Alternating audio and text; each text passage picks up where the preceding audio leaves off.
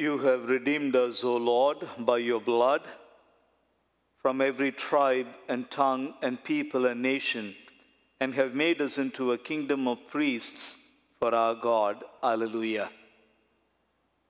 In the name of the Father, and of the Son, and of the Holy Spirit. The Lord be with you. Good morning, everybody, and welcome to this celebration. And today's Mass is being offered for the repose of the soul of Albina and Joseph Caimotto. And as we pray for Albino and Joseph Caimotto, let's also remember up we pray to the author of our salvation, so that when our Savior comes again in majesty, those you have given new birth in baptism may be closed with blessed immortality. Through our Lord Jesus Christ, your Son, who lives and reigns with you in the unity of the Holy Spirit, one God forever and ever. Amen.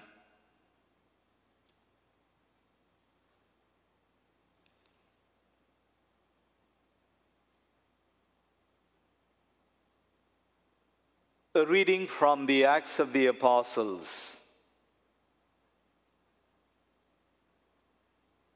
One night, while Paul was in Corinth, the Lord said to him in a vision, Do not be afraid.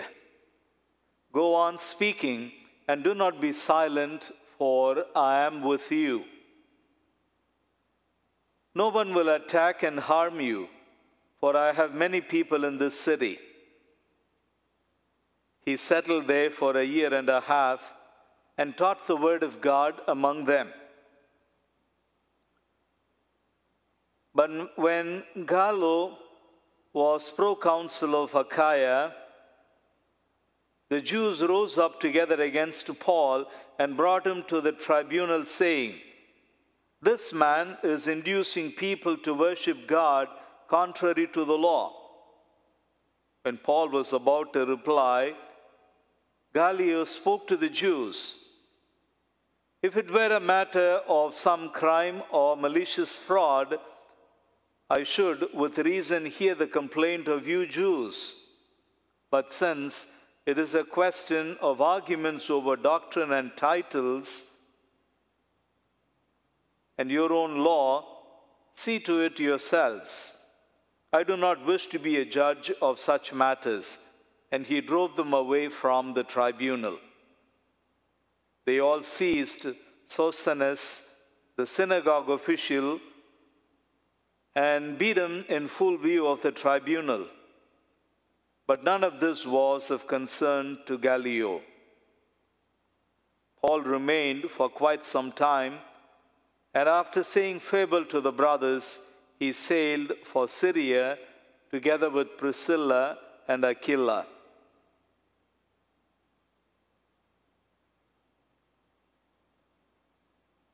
The word of the Lord. Thanks be to God.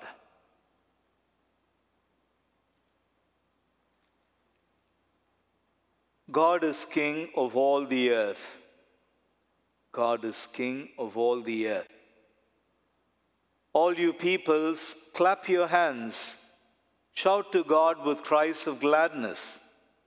For the Lord, the Most High, the Awesome, is a great king over all the earth. God is king of all the earth.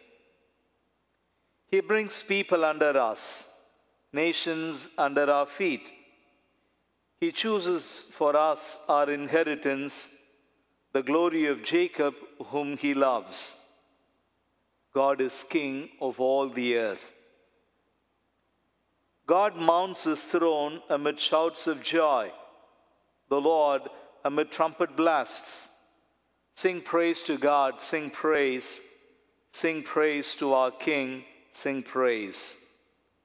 God is King of all the earth. Alleluia, Alleluia. Christ had to suffer to rise from the dead and so enter into his glory. Alleluia.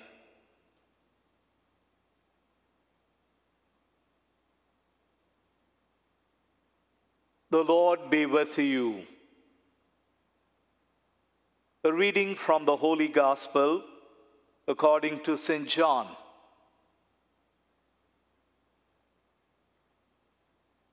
Jesus said to his disciples, Amen, amen, I say to you, you will weep and mourn while the world rejoices. You will grieve, but your grief will become joy. When a woman is in labor, she is in anguish because her hour has arrived. But when she has given birth to a child, she no longer remembers the pain because of her joy that a child has been born into the world. So you also are now in anguish, but I will see you again, and your hearts will rejoice, and no one will take your joy away from you. On that day, you will not question me about anything. Amen, amen, I say to you, whatever you ask the Father in my name, he'll give you. Sisters and brothers, the gospel of the Lord.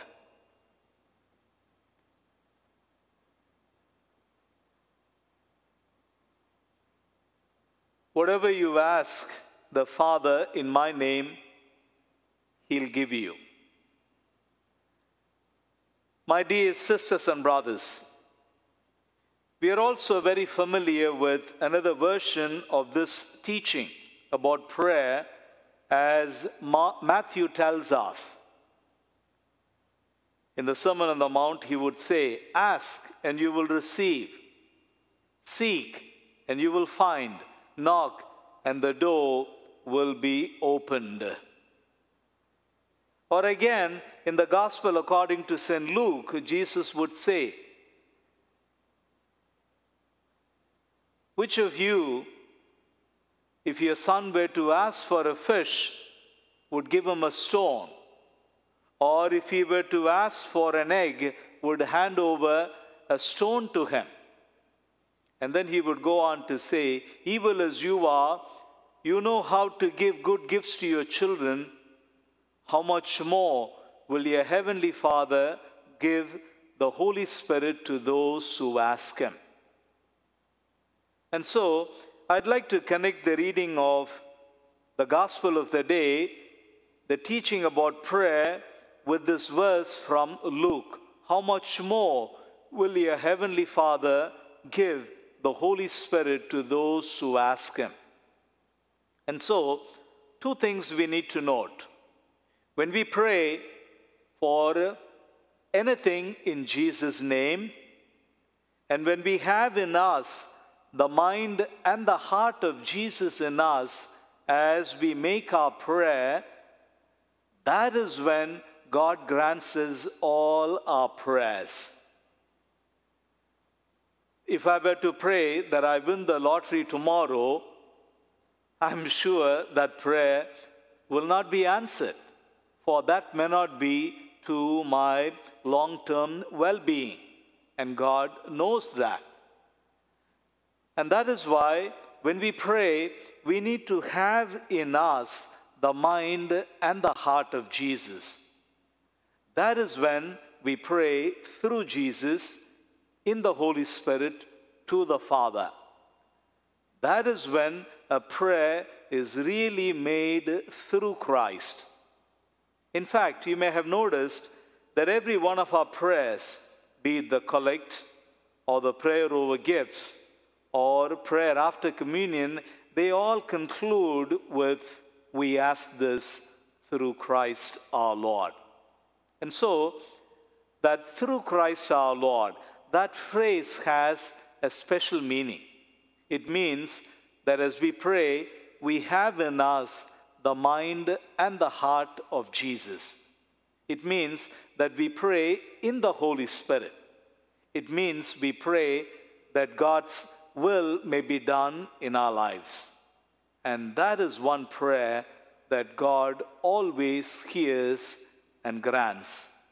And so, as a practice going forward, And Jesus has taught that very clearly in the Lord's Prayer, the Our Father. Let's pray that God's kingdom may come. Let's pray that His will may be done.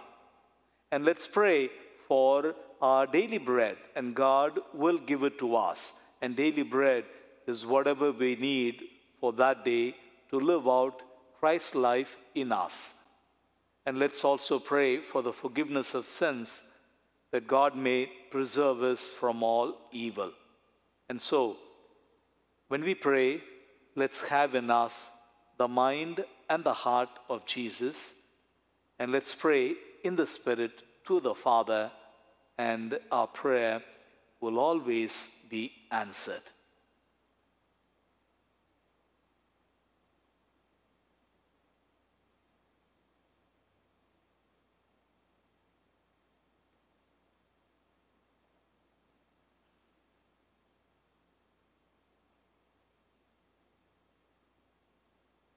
Blessed are you, Lord, God of all creation, for through your goodness we have received this bread we offer. Fruit of the earth and work of human hands, it will become our spiritual food. Blessed be God forever. By the mingling of this water and wine, may we share Christ's divinity, who humbled himself to share in our humanity. Blessed are you, Lord, God of all creation, for through your goodness we have received this wine we offer. Fruit of the vine and work of human hands, it will become our spiritual drink. Lord, wash away my iniquity and cleanse me from my sin.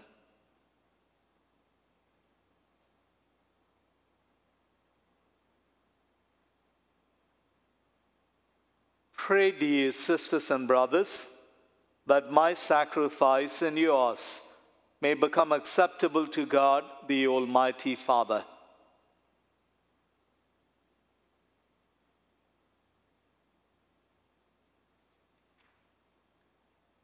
Accept in compassion, Lord, we pray, the offerings of your family, that under your protective care they may never lose what they have received but attain the gifts that are eternal through Christ our Lord. Amen. The Lord be with you. Lift up your hearts. Let's give thanks to the Lord our God. It is truly right and just, our duty and our salvation at all times to acclaim you, O Lord but in this time, above all, to laud you yet more gloriously when Christ, our Passover, has been sacrificed. By the oblation of his body, he brought the sacrifices of old to fulfillment in the reality of the cross. And by commending himself to you for our salvation, showed himself the priest, the altar, and the lamb of sacrifice. Therefore, overcome with paschal joy. Every land, every people exults in your praise. And even the heavenly powers with the angelic hosts sing together the unending hymn of your glory as they acclaim, Holy, holy, holy Lord, God of hosts. Heaven and earth are full of your glory. Hosanna in the highest. Blessed is he who comes in the name of the Lord. Hosanna in the highest.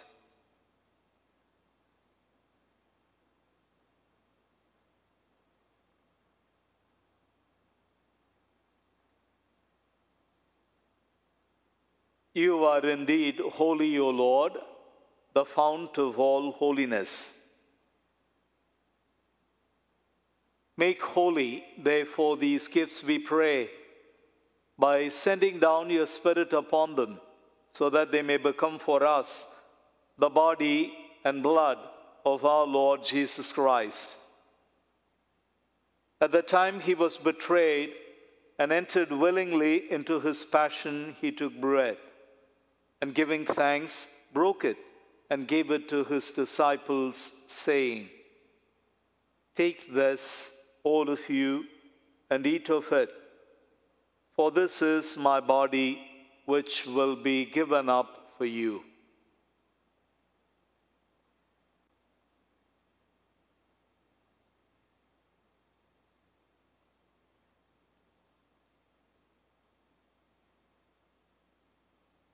In a similar way, when supper was ended, he took the chalice, and once more giving thanks, he gave it to his disciples, saying, Take this, all of you, and drink from it. For this is the chalice of my blood, the blood of the new and eternal covenant, which will be poured out for you and for all for the forgiveness of sins. Do this in memory of me.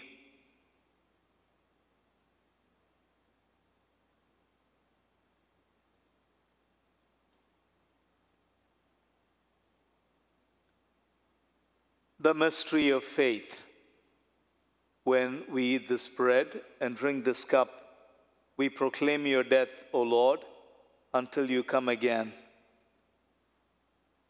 Therefore, as we celebrate the memorial of his death and resurrection, we offer you, Lord, the bread of life and the chalice of salvation, giving thanks that you have held us worthy to be in your presence and minister to you.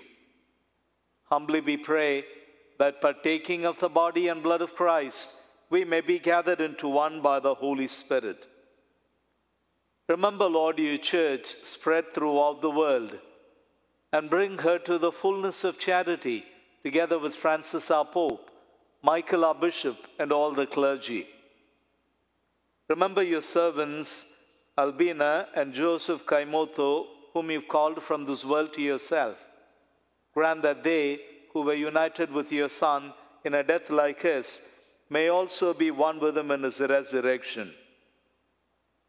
Have mercy on us all, we pray, that with the Blessed Virgin Mary, Mother of God, with Saint Joseph, her beloved spouse, with Saint John Vianney, and all the saints who have pleased you throughout the ages, we may come to be co-heirs to eternal life and may praise and glorify you through your Son, Jesus Christ.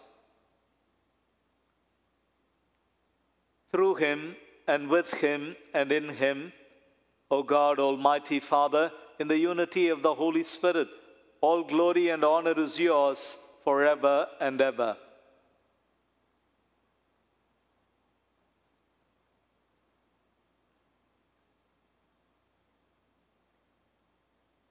As we pray the Lord's Prayer, let's uh, remember to pray for all our intentions. We would like to pray for all those in need and for all those that face health challenges. And uh, I would also invite you to pray for Anne Flack. All is well with her. Let's pray that God may bless her with good health.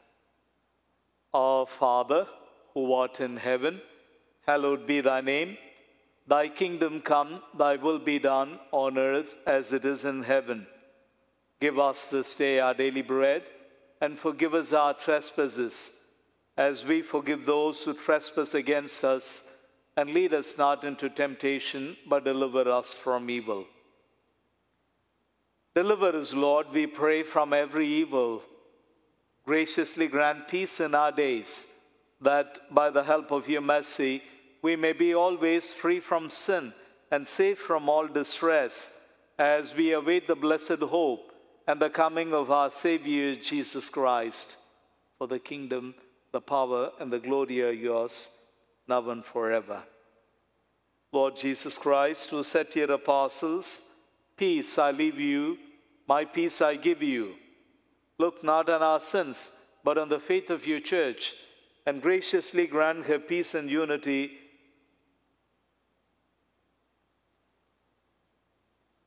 in accordance with your will, you who live and reign forever and ever. The peace of the Lord be with you always. Let's offer one another a sign of peace.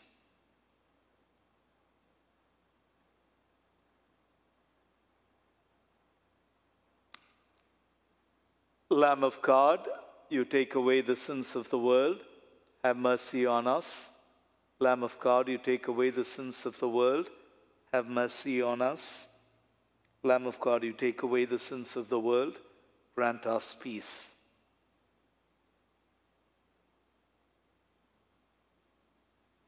Behold the Lamb of God. Behold him who takes away the sin of the world. Blessed are those who are called to the supper of the Lamb.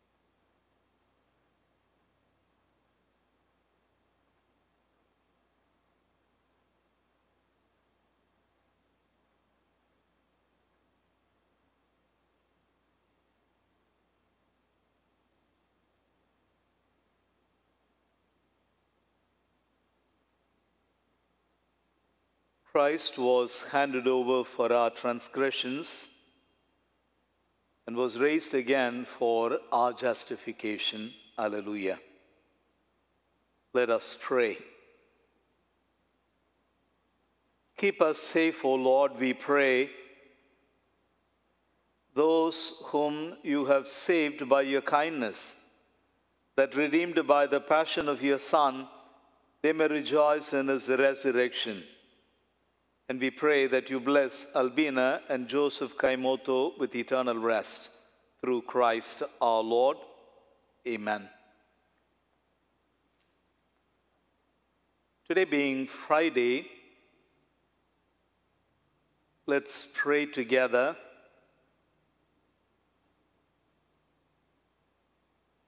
The prayer of abandonment.